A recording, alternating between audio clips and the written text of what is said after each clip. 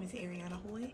I am a sophomore or second year studying law and public policy with a minor in media management. And today, I do not have any classes on campus. It's a Friday, but I will be on campus for most of the day helping with this CBS show. So I hope I can get the ins and outs of that.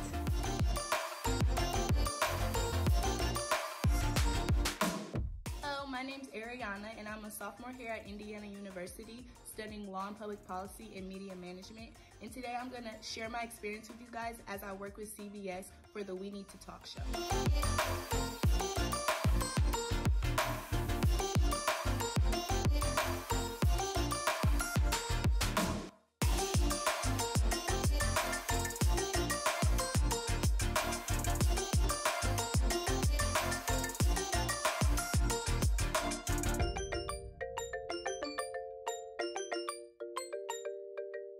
This is a test run of everything, testing the mics. I just helped set up this table. So, we just finished recording the Joy of Cooking show, and I had the honor of helping prepare all the food, and then I also made sure everyone had mics and everyone was ready to be stars on stage, and it was really exciting.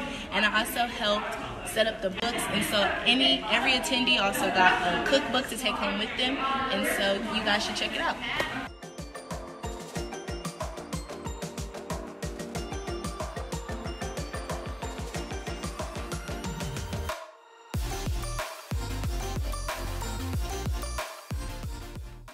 Oh, I had a great day today. I learned a lot. It was a lot of hands-on work.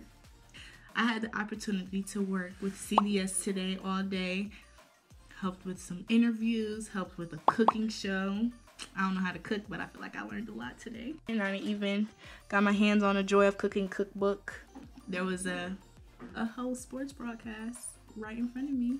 It's kind of cool. We Need to Talk was recorded right here on IU's campus and I got to experience that hands on.